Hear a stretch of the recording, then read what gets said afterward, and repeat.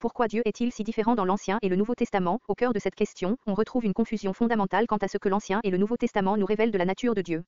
Cette confusion s'exprime souvent ainsi, le Dieu de l'Ancien Testament est un Dieu de colère, celui du Nouveau, un Dieu d'amour.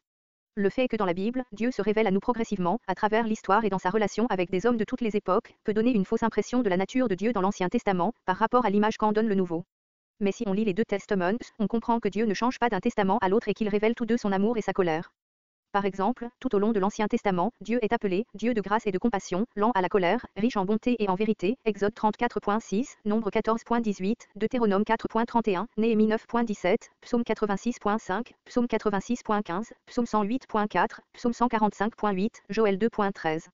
Mais dans le Nouveau Testament, l'amour, la bonté et la miséricorde de Dieu se manifestent pleinement par le fait qu'il a tant aimé le monde qu'il a donné son Fils unique afin que quiconque croit en lui ne périsse pas mais ait la vie éternelle.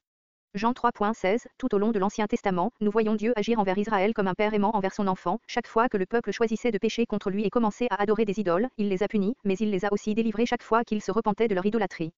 Il agit de la même manière envers les chrétiens dans le Nouveau Testament. Par exemple, Hébreu 12.6 nous dit, en effet, le Seigneur corrige celui qu'il aime et il punit tous ceux qu'il reconnaît comme ses fils.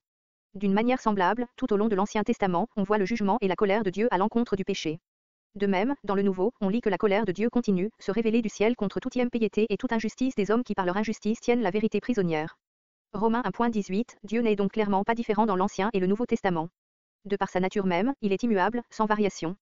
Alors que certains passages des Écritures révèlent davantage tel aspect de sa nature que d'autres, lui-même ne change pas. En lisant et étudiant la Bible, on remarque clairement que Dieu n'est pas différent dans l'Ancien et le Nouveau Testament. Même si la Bible est en fait un recueil de 66 livres écrits sur deux, voire trois, continents, en trois langues différentes, sur une période de 1500 ans, par plus de 40 auteurs, d'origines très diverses, elle forme cependant un tout, sans contradiction du début à la fin. On y découvre comment un Dieu juste, plein d'amour et de miséricorde, se comporte face à des hommes pécheurs dans toutes sortes de situations. La Bible est vraiment une lettre d'amour de Dieu à l'humanité. Toutes les Écritures expriment l'amour de Dieu pour sa création, particulièrement pour l'humanité.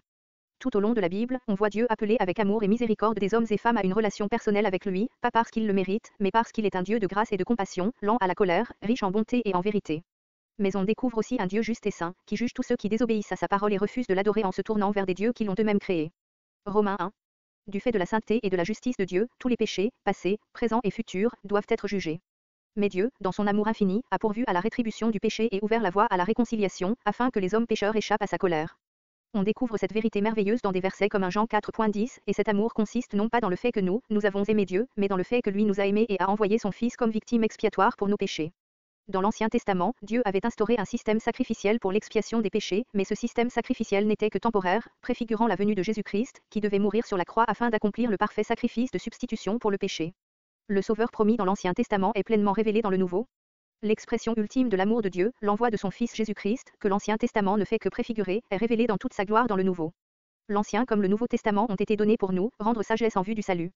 2 Timothée 3.15, quand nous les étudions attentivement, il devient évident qu'il n'y a en Dieu, ni changement ni l'ombre d'une variation. Jacques 1.17